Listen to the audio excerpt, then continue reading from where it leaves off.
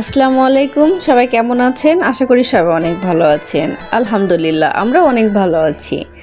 তো ক্যাপশন দেখে নিশ্চয়ই বুঝতে পারেছেন আজকে আমি আপনাদেরকে কি ভিডিও দেখাতে চলেছি। আর আমি আজকে বাংলাদেশ জাতীয় চিড়িয়াখানা আপনাদের ঘুরে দেখাবো, যেটা মিরপুর একে অবস্থিত। তো আশা করি ভালো লাগবে।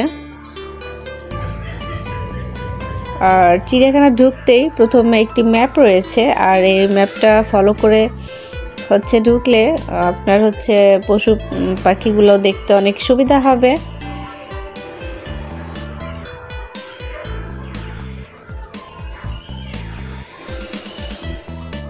তো চলেন, আপনাদেরকে এক এক করে সব পশু পাখিগুলো দেখাই দিই।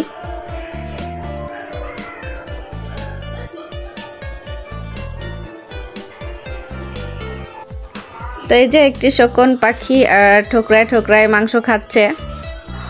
তো দেখতে ভালো লাগছে। আর আমার ছেলে দেখে অনেক খুশি হয়ে গেছিল। আর এই যে চিড়িয়াখানার মধ্যে হচ্ছে একটি পার্ক রয়েছে, শিশু পার্ক, যেটা বাচ্চাদের, বাচ্চারা যখন ঘুরতে ঘুরতে একটু টায়ার্ড হয়ে যায় বা ক্লান্ত হয়ে যায়, তখন আসলে এটি অনেক আনন্দ দেয় এই পার্কটা। যেটা বাচ্চাদের জন্য করা হয়েছে।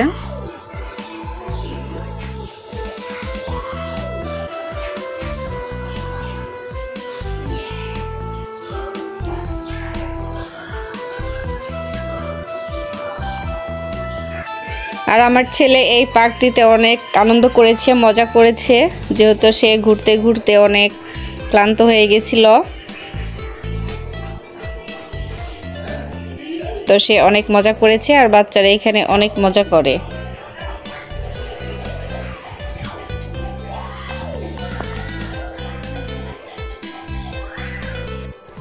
বিশেষ করে চিড়িয়াখানাটা বাচ্চারা বেশি পছন্দ করে, কারণ এখানে যেহেতু অনেক রকমের পশু পাখি আছে, প্রাণী আছে, তো তারা সেটি এটি খুব সুন্দরভাবে উপভোগ করে।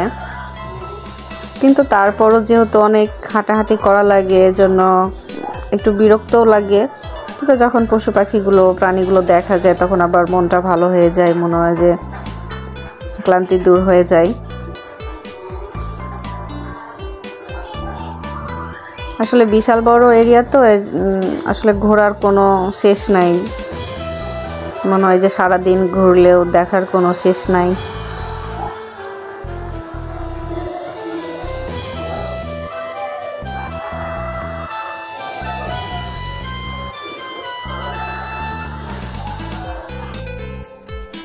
তো এই যে হাতি, বিশাল বড় শরীর নিয়ে, আর কাছ থেকে যখন এসব পশু পাখি দেখা যায়, প্রাণী দেখা যায়, তখন কত ভালো লাগে। আর এটা হচ্ছে জলহস্তি।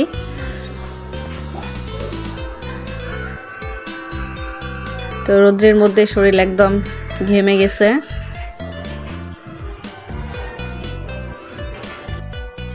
আর আর এখানে হচ্ছে বাঘ, হরিণ, সিংহ, সাপ, কচ্ছপ, তারপরে হচ্ছে বানর, তারপরে জেব্রা, ময়ূর, অনেক কিছু রয়েছে। আসলে কোনটা ছেড়ে কোনটা নাম বলি, তো এক এক করে সব আপনারা দেখতে থাকেন। দেখায় যাক কতটুকু ভিডিও করতে পারছি। আর বেশ কয়েকবার রেস্ট নিয়েছি হচ্ছে ঘোরার মাঝে। তো সেগুলো আপনাদের সাথে শেয়ার করি নাই। কারণ ঘুরতে গেলে মজাও আছে, আবার সাজাও আছে। আর যে রৌদ্র পড়েছে রৌদ্রের অবস্থা খুব খারাপ। কিন্তু তারপরে যখন এসছি, সবগুলো একদম ঘুরিয়ে নিয়ে যাই বাচ্চাকে। কারণ বারবার তো আর আসা হবে না।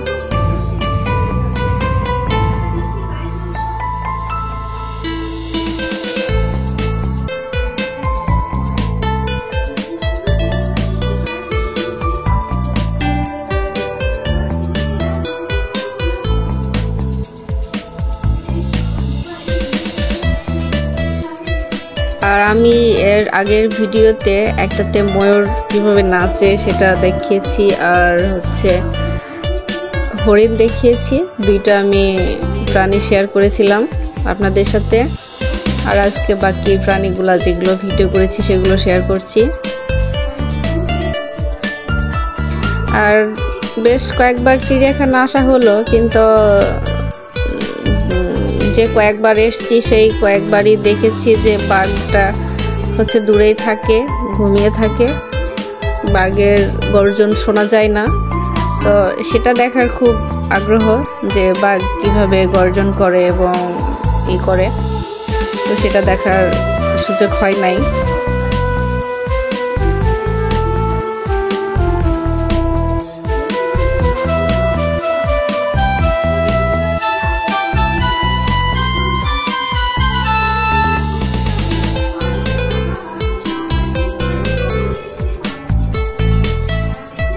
আর সাপগুলো যখন দেখা যায়, ইয়া বড় বড় সাপ, তখন গা একদম মনে হয় যে শিরে উঠে। সাপগুলো যখন দেখা যায় আর অনেক মানুষ হয় তো, চিড়িয়াখানার মধ্যে অনেক মানুষ হয়।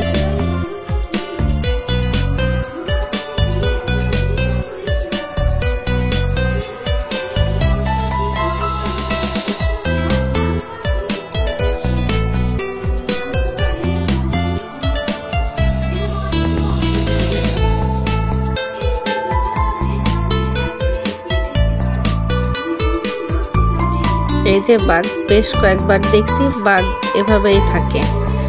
বাঘ দূরেই থাকে, বাঘের হচ্ছে নাগাল পাওয়া যায় না। কিন্তু আমার দেখার খুব ইচ্ছা, বাঘ হেঁটে চলে ফিরে বেড়াবে। আর এই যে বানর বানর হচ্ছে কলা ছিলে খাচ্ছে।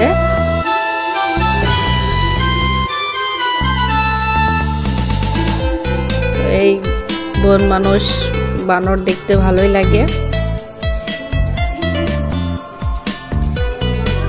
আর পশু পাখি এদেরকে খাবার ছুড়ে দেওয়া যাবে না, এটা চিড়িয়াখানা কর্তৃপক্ষ থেকে নিষেধ করে দেওয়া হয়েছে।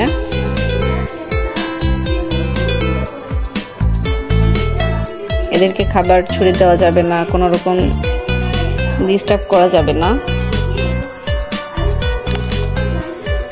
এই যে খরগোশের বাচ্চা, আর এই খরগোশের বাচ্চা দেখে আমার ছেলে নেওয়ার জন্য খুব কান্নাকাটি করছিল। সে এখন খরগোশের বাচ্চা নিবে আমার কাছে।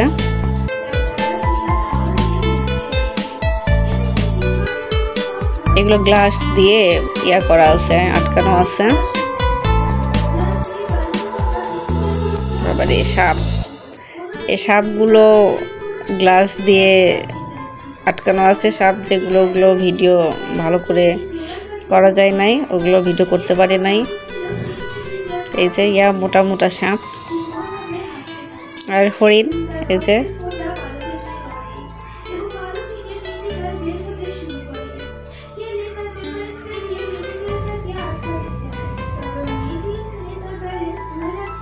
কালারফুল হরিণ।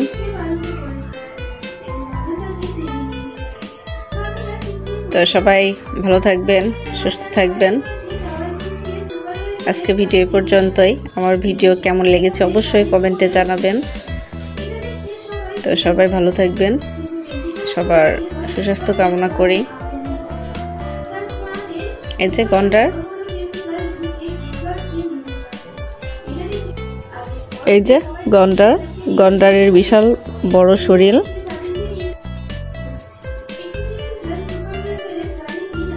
তো আজকে ভিডিও পর্যন্তই। আবারও ফিরে আসব নতুন কোনো ভিডিও নিয়ে। সে পর্যন্ত সবাই ভালো থাকবেন, সুস্থ থাকবেন। আল্লাহ হাফিজ